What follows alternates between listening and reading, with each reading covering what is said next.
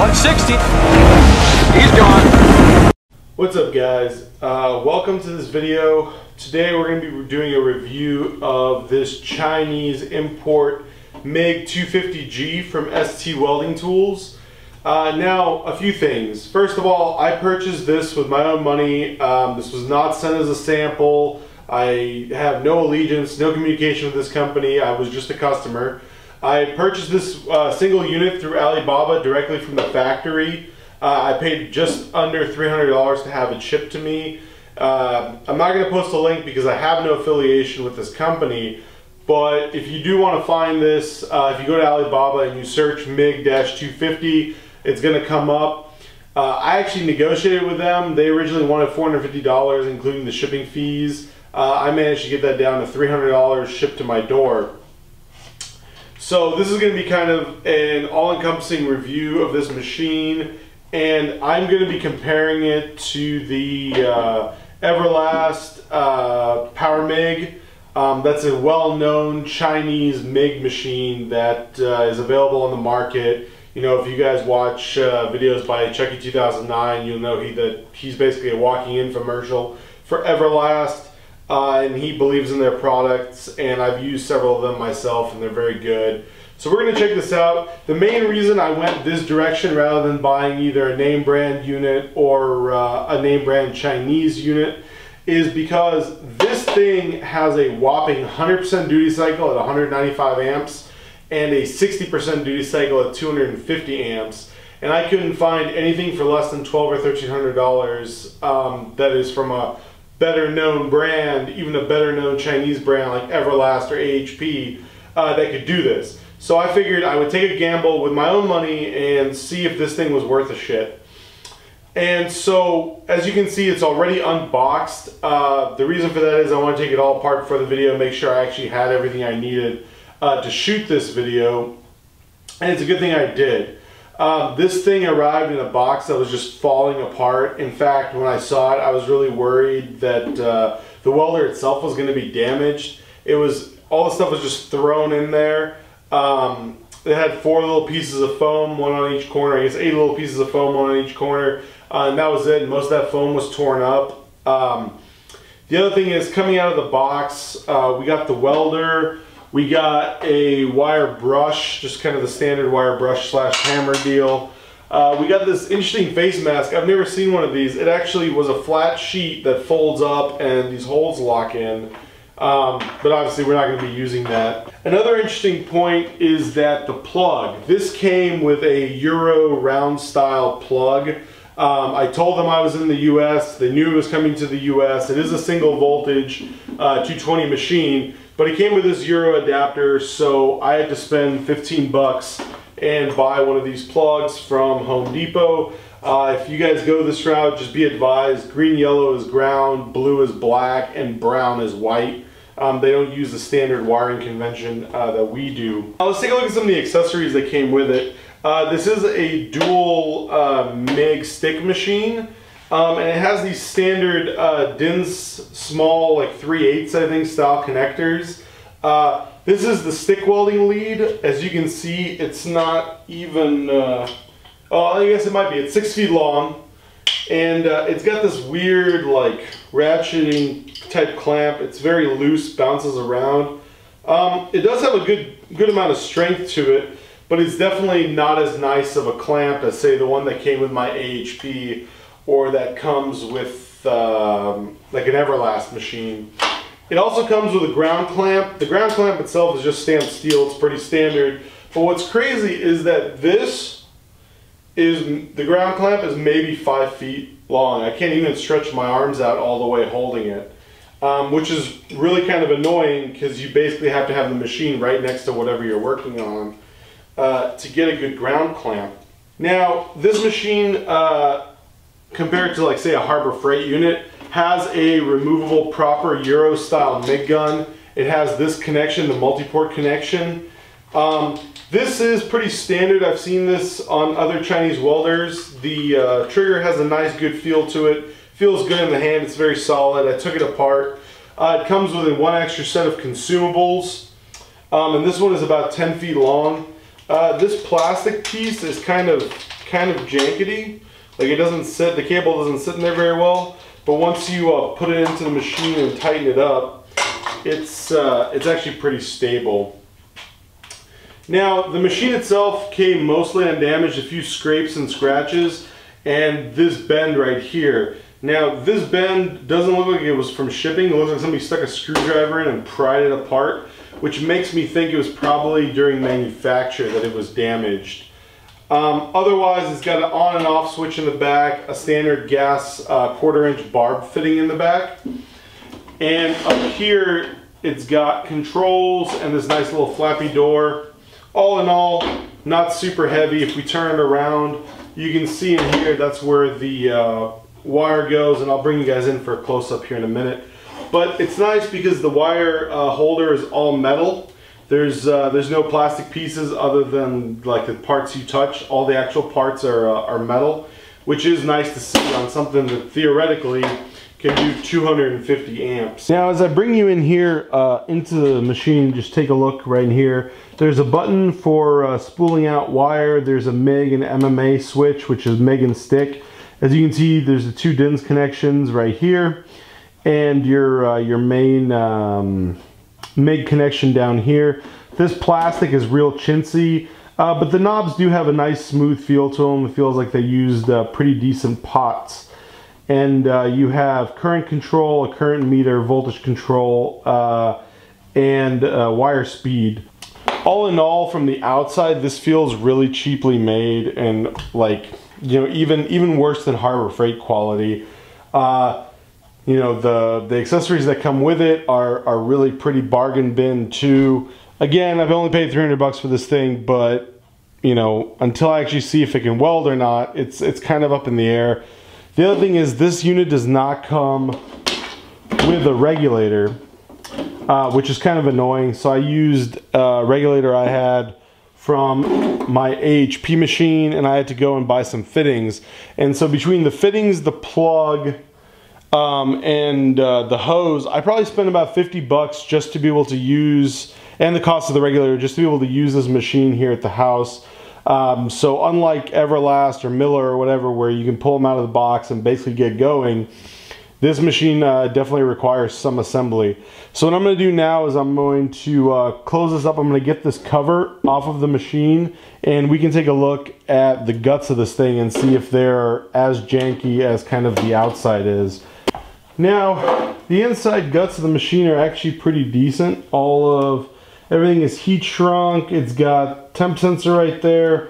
All the wires are carefully routed. Um, I see a little bit of the uh, kind of traditional hot glue that's left by uh, by Chinese factories, but all the IGBTs are nice. All everything is routed nicely. Um, the solenoid is good. You know the hose is a good quality hose. Got a giant heat sink over our capacitors. We got our um, GBTs right there, the copper leads. This is a good size. You know, all the electronics appear to be Chinese made, but they do appear to be, you know, good. The boards are well spun. There's not uh, any kind of, I mean, it, it looks like a good board. Like all the connections are nice and firm. There's no like kind of weird garbagey, uh, you know, just shit that gets left over. The inside of this machine actually um, is a lot better, uh, leaves a lot better of an impression than the outside of the machine. So there's nothing really left to do but to put this thing together and uh, see if we can't weld some stuff. So now we are ready to weld, uh, do a little weld test. And uh, a few things that are important to note.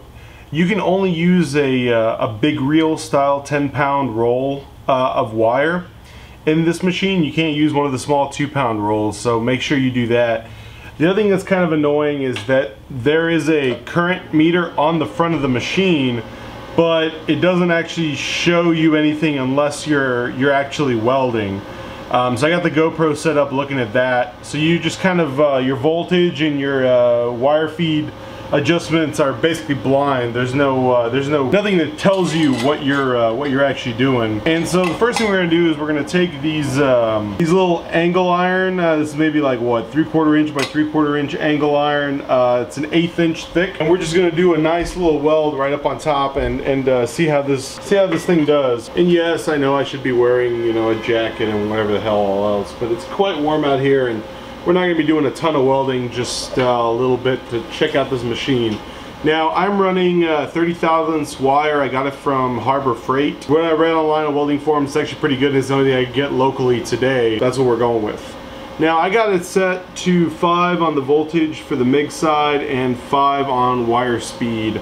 So let's just see how she welds. So the issue there was I, uh, I over tightened the, uh, the roll a little bit and the motor was just spinning through. So now we should be able to weld.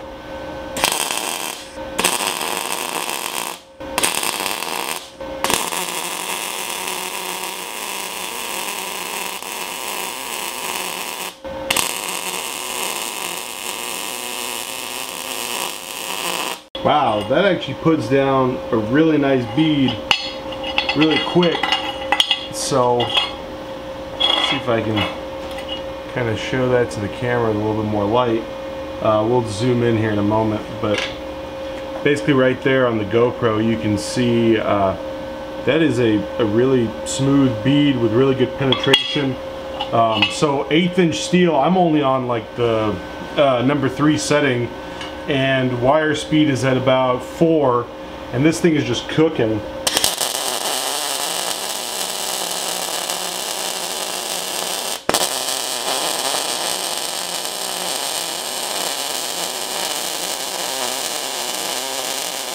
and let me turn this around so it faces the camera.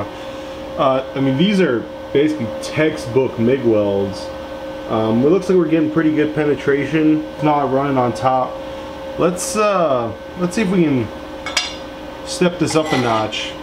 So what I got right here is uh, fairly thick steel. Um, this is probably going to be like not quite a quarter inch, but uh, probably pretty close. This is, I mean, it's definitely thicker than 1 8 and so what we're gonna do is we're gonna try to weld it to this piece of tube, just just like that.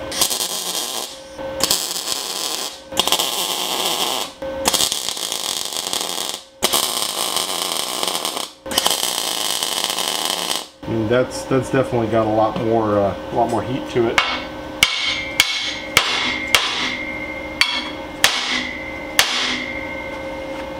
I mean, I'm getting it to bend a little bit up off the surface, but uh, that's three little tacks and that thing is on there pretty solid. So let's just see if we can't burn through some stuff.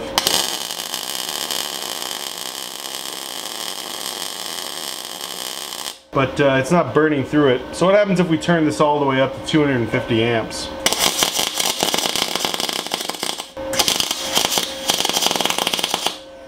I mean, it's just feeding it straight through the uh, through the piece of metal into the other side. Now over here you can see where it lifted off. Uh, it actually did a really nice job of kind of filling in that gap. And speaking of filling up gap, let's see if we can fill up the, uh, the top of this.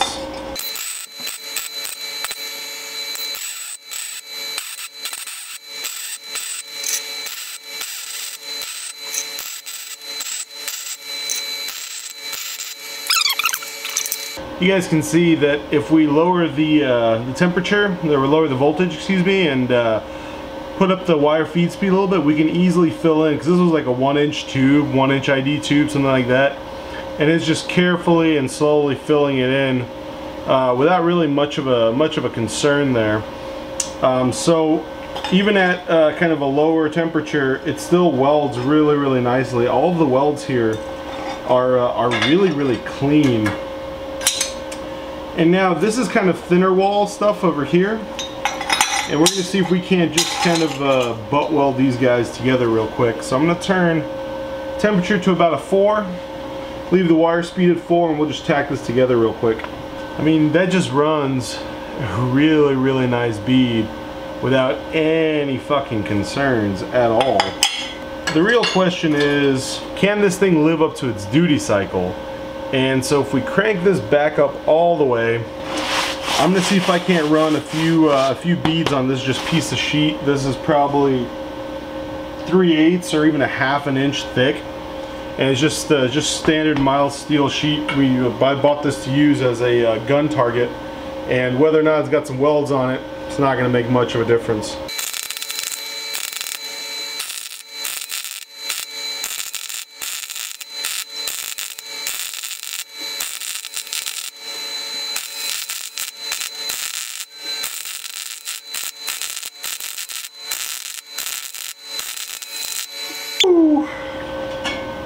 That's a lot of heat. I mean, this was hot enough to get warped because this was a perfectly smooth plate before.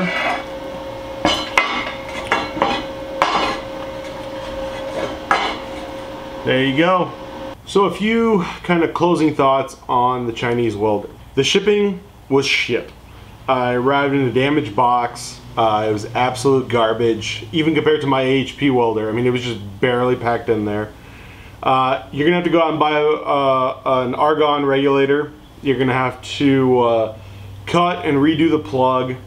Um, it only accepts 10 pound uh, spools of wire.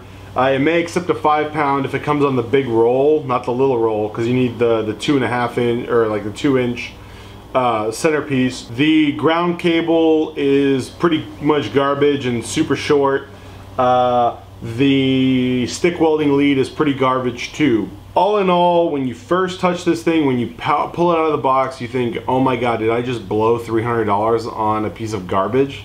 But the truth is, this thing welds just as good as uh, any any quality welder, MIG welder I've ever used. Uh, we're running C25 gas, uh, actually all the way across the garage through a long ass hose without any problems turned all the way up. This is uh, about half inch steel and it, it burnt into it pretty good. I would have uh, absolutely no qualms about using this thing to stick together stuff that's close to half an inch. Uh, the smaller stuff, the stuff that I normally work on, eighth of an inch or thinner, I mean, on real low settings, it just burnt right through it. Um, I didn't even bother testing the stick functionality. Uh, I have the Alpha TIG, which does stick for me. It does it really well. I don't have any reason to think that this guy wouldn't do stick very well, but I like to be able to set current. Really, the only downsides of this welder, having used it, is that the wire feed speed is pretty arbitrary, but that's true of most welders. But I can't, I don't know what the voltage is actually set at. So I had the GoPro facing the welder while I was welding to see um, what it was actually displaying, what we were actually using while we were welding, and it'll be interesting to review the video but it would be nice to have an actual display that says, hey, you're currently set to, you know, I don't know, 26 volts or something, right? Because MIG, MIG is on is on voltage. That's kind of a small niggle. I mean, all the other welders kind of in this price category have like one or two positions, or maybe like a like a four position switch, but you don't really know what what kind of power it's using there either. All in all, all in, I have probably about $350 in this thing, all said and done. Obviously, not counting the the tank but even counting the plug and the regulator and some of the other stuff I had to buy for it, um, I'm super impressed. Uh, the only comparable power welders that you could buy on the market uh, from name brand or Chinese name brand companies are going to be right around a thousand dollars which is just about three times what I paid for this. There are going to be fanboys that are going to come out and say, er, blah, blah, blah, blah, blah, you know, I want to have a Miller, and that's fine. If you want to spend the money on an American-made Miller machine or a high-end Chinese machine like the AHP or Everlast, uh, you're not going to be disappointed. Those are excellent machines.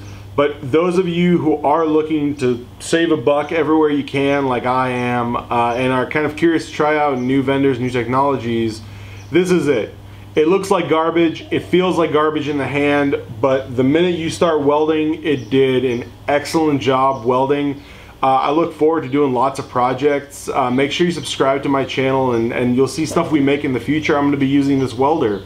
Um, and you'll see it in live action and I'll probably do a one year and then like a two year review, uh, assuming I still have it. And uh, that's pretty much it.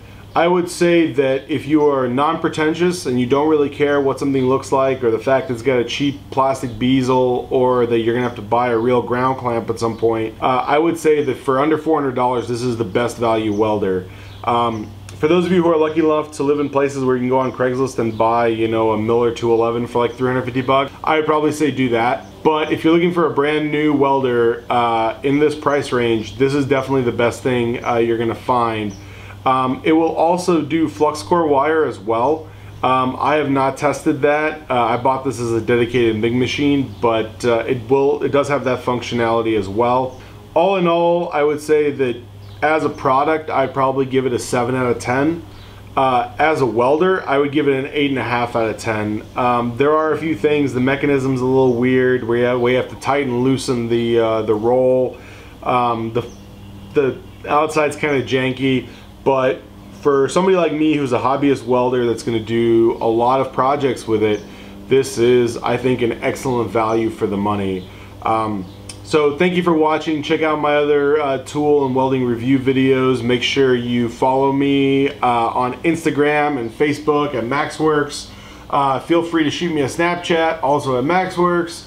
Um, make sure if you're new here, please subscribe. Uh, I'd appreciate if everyone would hit the like button, uh, let YouTube and me know that I'm doing a good job uh, and making these videos. Please don't hesitate to leave me a comment. Like I said, I'm not going to put a direct link to where you can buy this, but if you search on outlets like Alibaba for ST Welding or MiG 250, you should be able to track it down pretty easily.